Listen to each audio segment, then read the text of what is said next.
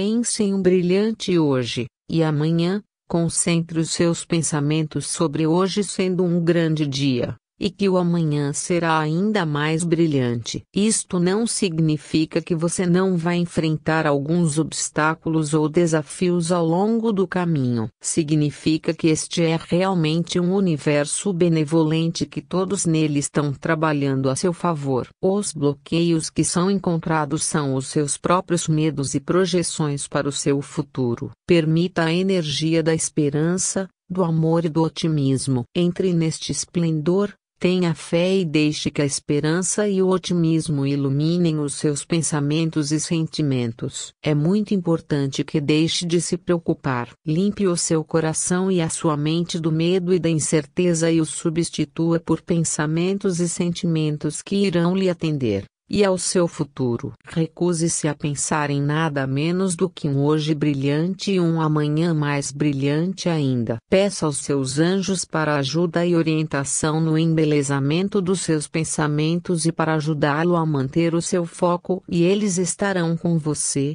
Sinta-os ou não. Você não tem que seguir sozinho e eles esperam ansiosamente o seu pedido de apoio, respostas e soluções. Assim os invoque o seu auxílio e observe como a sua perspectiva se transforma e o seu futuro se torna mais brilhante. Afirmação: Eu crio meu brilhante futuro estando presente no agora. Minha perspectiva é positiva e brilhante. E assim, é. Você é eternamente amado e apoiado, sempre. Os anjos e guias